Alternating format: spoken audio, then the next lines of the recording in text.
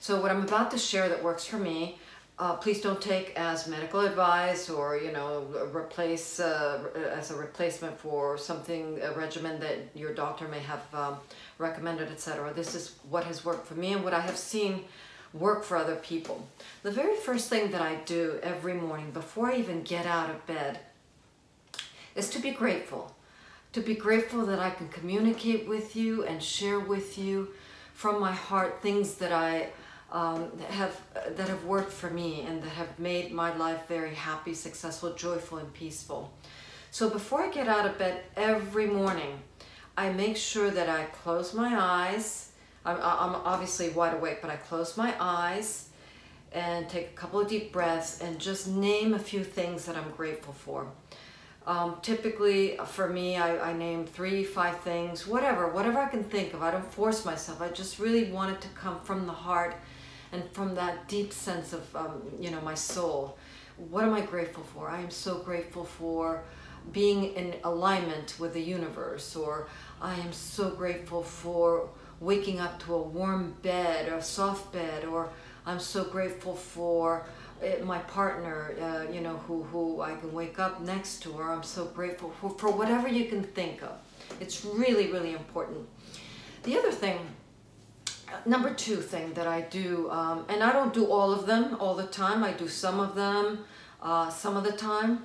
Uh, it, it, you know, one thing I've learned to do, and I really, really recommend, is listen to your to yourself. Listen to that intuition, to that little voice within you that's saying, you know, this really works well for me or that works well for me.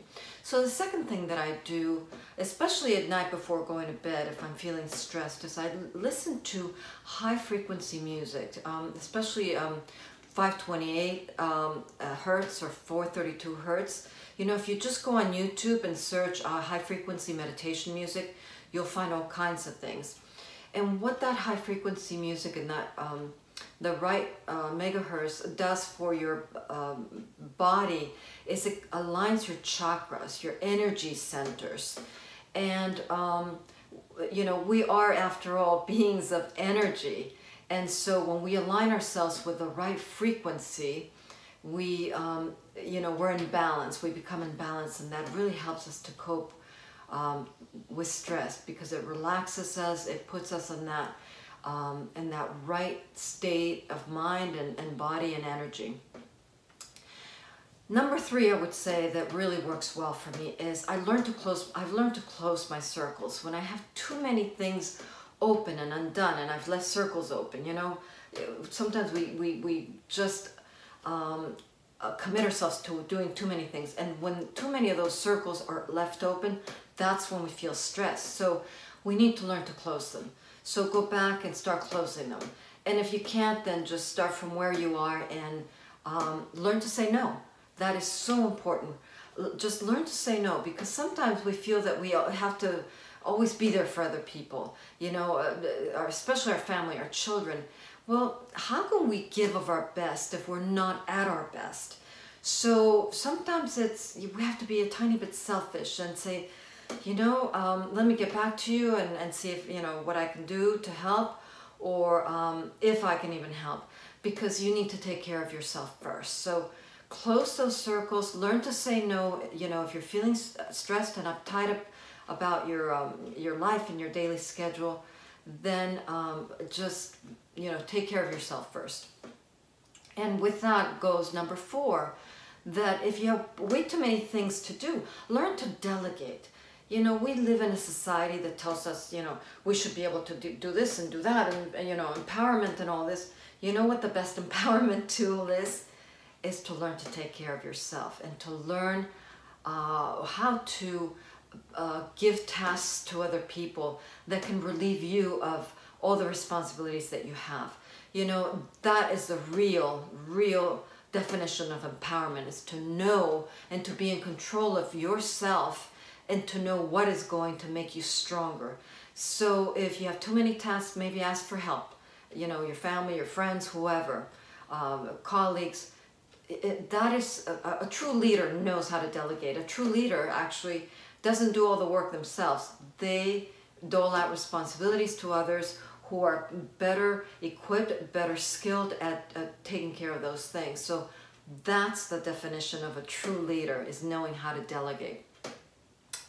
The other thing that I do, point number five, uh, when I'm feeling stressed is I take time out to go into nature. I wish I could be outside today, but it's been raining very, very heavily. And um, it's, you know, if I take a, a walk in the woods, I, that's just, I'm going to get all, all wet. And it's not going to help me because I have uh, some things to do, um, a few things to do today that, you know, I, I don't need to be changing or, you know, combing my hair again. So I thought I just wanted to shoot this video for you um, as I was thinking about how can I give really, really good value to my audience today. So uh, it's important to get out into nature or once a day, you know, whether that's for five minutes, half an hour, two hours, whatever you can do. We're all on different journeys and not all of us can be out in nature every single day for, you know, uh, and, and even if you can't do it every day, do it as often as you can.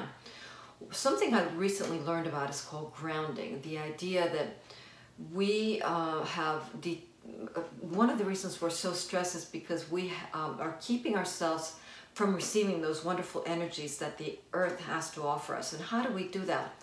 You know, um, Native American Indians and um, indigenous uh, peoples uh, walk barefooted a lot.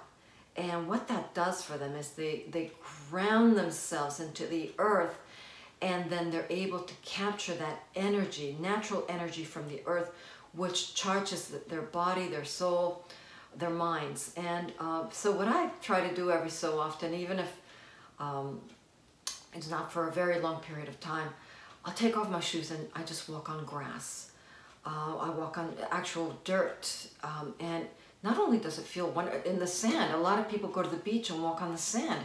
That What does that do? Because that's giving them a, an, a, an energy that helps uh, the chakras, our energy centers balance. So if you can't go barefooted and, you know, uh, out there, just get out there and touch a tree. You know, our uh, ancestors used to say, smell the roses, take time to smell the rose. And that's what they meant is, you know, look at a flower, touch a plant, uh, put your hand on dirt, uh, you know, walk barefooted, whatever you can do or just stand out there and look at the trees, look up at the trees, look at the branches and the leaves. And by doing that, it's amazing what a sense of peacefulness you get. So try that.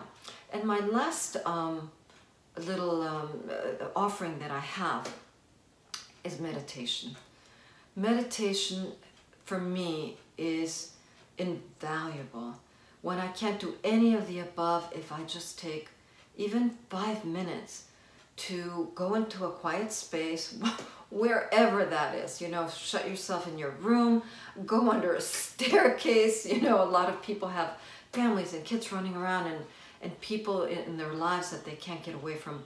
Go to the bathroom, you know, uh, walk into the shower and do this and just sit down comfortably and close your eyes and take a deep breath, two or three deep breaths, and just clear your mind of any thoughts. I know that's really hard for a lot of people. If that's hard for you to do, then maybe light a candle and look, stare at the candle for a little while and try to just look at the candle and as thoughts come into your mind, just let them go through and, you know, let them pass. Some people, um, like to take baths, warm baths, also look, you know, with candlelight, and that also helps. For me, I, um, I also work with meditation music. Again, YouTube is such a great, great tool. I look for meditational music that just helps me to relax. So I hope uh, today's video um, will help you in some way. Again, I don't do all seven all, all at once. I do some of them some of the time. The key for you is listen and feel what works for you best. And I hope that, um, that this has really been helpful to you. Let me know. I love to hear back from people, especially, you know, when I, uh, you know, something works or if uh, I can do something better. So have a wonderful day.